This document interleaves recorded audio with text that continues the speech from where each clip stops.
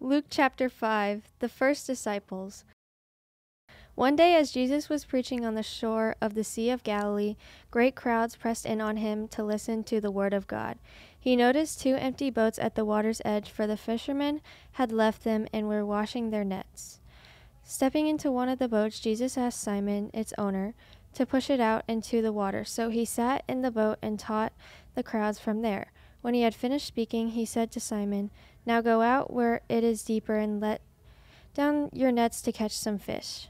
Master, Simon replied, we worked hard all last night and didn't catch a thing, but if you say so, I'll let down I'll let the nets down again, and this time the nets were so full of fish they began to tear. A shout for help brought their partners in the other boat, and soon both boats were filled with fish and on the verge of sinking.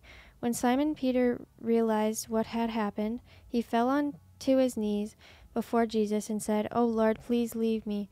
I'm too much of a sinner to be around you." for he was awestruck by the number of fish they had caught, as, the, as were the others with him. His partners James and John, the sons of Zebedee, were also amazed. Jesus replied to Simon, Don't be afraid. From now on, you'll be fishing for people. And as soon as they landed, they left everything and followed Jesus. Jesus heals a man with leprosy. In one of the villages, Jesus met a man with advanced case of leprosy. When the man saw Jesus, he bowed with his face to the ground, begging to be healed. Lord, he said, if you are willing, you can heal me and make me clean. Jesus reached out and touched him. I am willing, he said, be healed. And instantly the leprosy disappeared. Then Jesus instructed him not to tell anyone what had happened. He said, Go to the priest and let him examine you. Take along the offering required in the law of Moses for those who have been healed of leprosy. This will be a public testimony that you have been cleansed. But despite Jesus' instructions, the report of his power spread him spread even faster, and vast crowds came to hear him preach and to be healed of their diseases.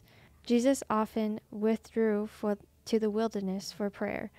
Jesus heals the paralyzed man. One day, while Jesus was teaching, some Pharisees and teachers of religious laws were sitting nearby. It seemed that these men showed up from every village in all Galilee and Judea, as well as from Jerusalem, and the Lord's healing power was strongly with Jesus.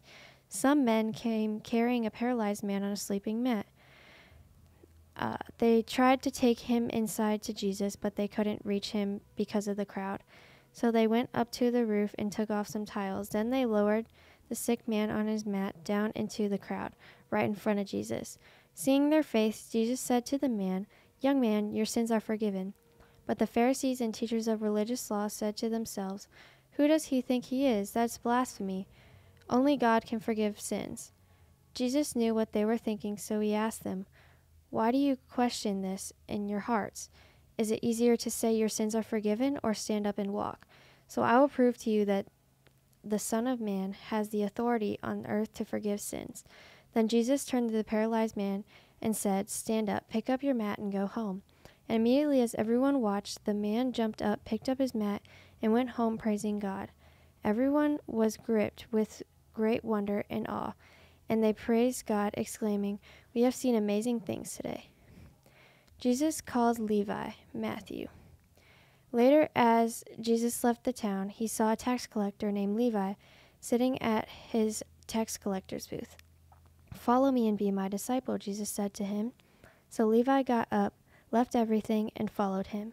Later, Levi held a banquet in his home with Jesus as the guest of honor. Many of Levi's fellow tax collectors and other guests also ate with them, but the Pharisees and their teachers of religious law complained bitterly of Jesus' disciples.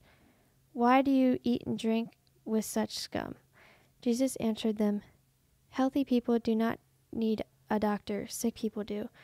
I have come to call I have come to call not those who think they are righteous, but those who know they are sinners and need to repent.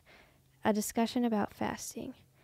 One day, some people said to Jesus, John the Baptist's disciples fast and pray regularly, and so do the disciples of the Pharisees. Why are your disciples always eating and drinking? Jesus responded, Do wedding guests fast while celebrating with the groom? Of course not.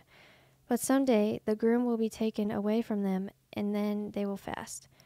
Then Jesus gave them this illustration No one tears a piece of cloth from a new garment and uses it to patch an old garment, for then the new garment would be ruined and the new patch wouldn't even match the old garment.